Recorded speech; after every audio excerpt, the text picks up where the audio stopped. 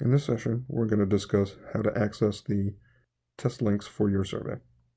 There's a couple of different reasons why you'd want to use the test link and gain access to them. The first is to be able to actually test your survey and see what a respondent would see with some built-in uh, testing tool features that are only available to folks using the testing links.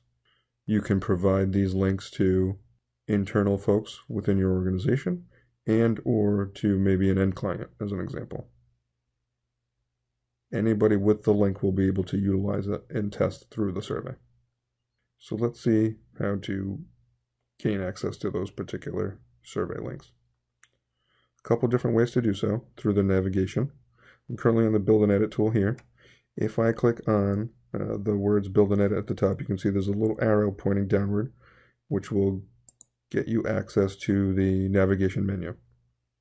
So here, I can select one of two options, either A, preview and test. If I click on preview and test, this is going to give you the default testing tools for the specific link, which is your default. The other option is to click on survey links on the, the next column over. If I click here, this will take me to the survey dashboard. And under the fielding tab, again, same menu, just flipped in the other direction. So it's vertical here instead of horizontal, as you saw in the build and edit tool, just to save room. So if I click on survey links, this is where I'll end up.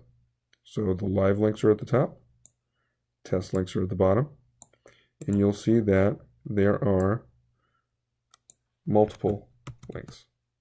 So here, I'm just highlighting these two particular items just to show that there are always going to be two sets uh, of links, a live link and a test link. So here I have the language and country combination, the locale, and the sample source. So it's a combination of the two, creating a more unique um, survey link for that particular use case. So I'll have the live link there, test link down here at the bottom, and I'll always have those two options. If I wanted to select a specific one, so let's say as an example, I have five languages happening on this particular project, and I have them all listed out. I can copy and paste the specific test link to be able to test it in that language or provide it to somebody who's going to be able to understand it in that language so that they can provide feedback and or edits and updates to the, the text and or content.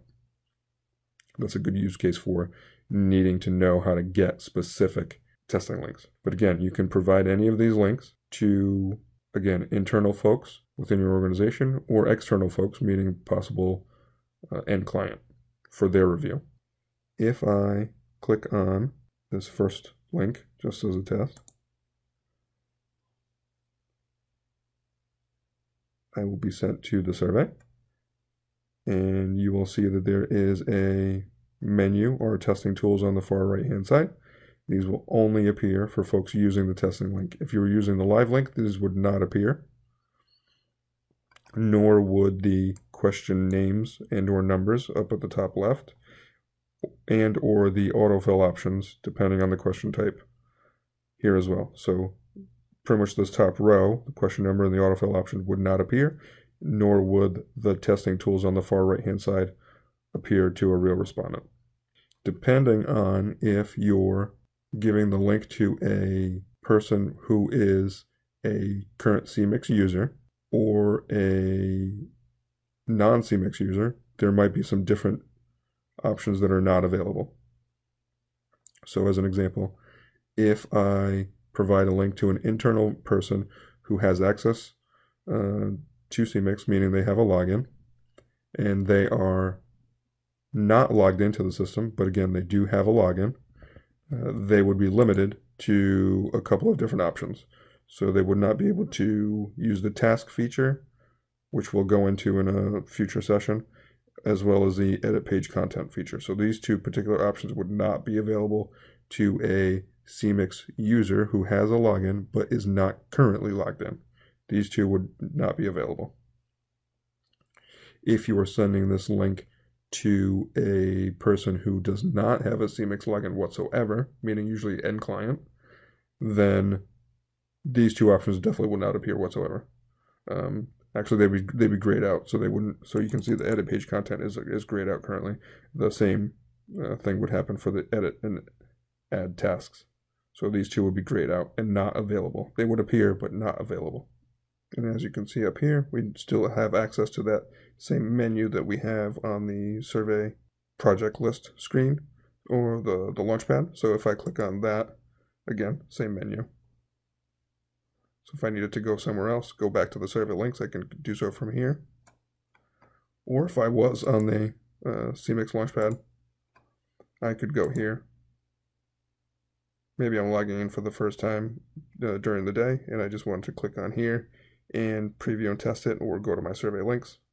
I'll be able to do that, no problem.